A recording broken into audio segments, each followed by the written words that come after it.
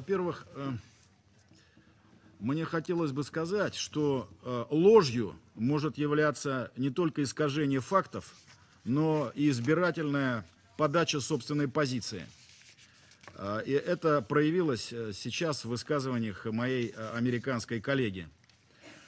То, что звучало из Вашингтона, в том балансе, как это звучало, совершенно очевидно показывало всем просвещенным, включая в Киеве, что самое важное, что Соединенные Штаты с одобрением взирают на попытку э, силовой смены власти, которая в конце концов э, с трагическими последствиями для Украины и ее народа увенчалась э, успехом.